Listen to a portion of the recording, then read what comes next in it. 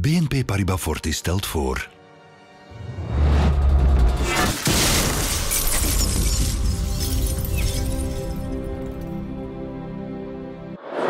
Ja, ik denk dan vooral misschien ook als de laatste het is, omdat hij ook zelf geschreven heeft en daar heb ik echt enorm veel respect voor, dat hij zo'n scenario heeft kunnen, kunnen, kunnen schrijven. Ik vind dat, wel, ik vind dat heel knap, ik vind dat heel chic.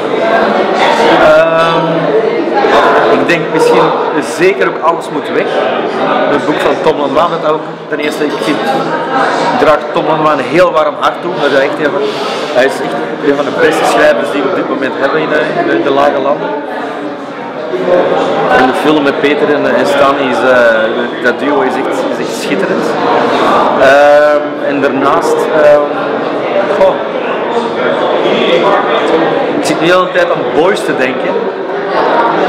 Maar dat heeft alleen maar te maken met Francesca van Thielen, denk ik. Die er toen, ik jong was en ik zag die film, heb ik toch heel veel slapeloze nachten van gehad. Eerlijk gezegd. Dus uh, voor degene, voor de, voor de jeugd onder ons, voor de 16, 16-plussers, kijk, uh, kijk naar Boys en geniet, zou ik zeggen.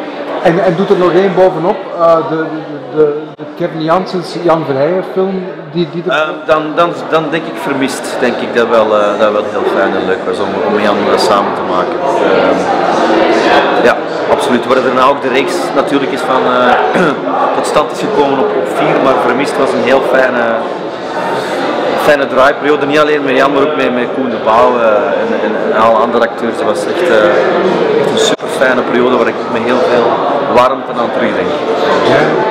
Alles over de Belgische cinema op cinevox.be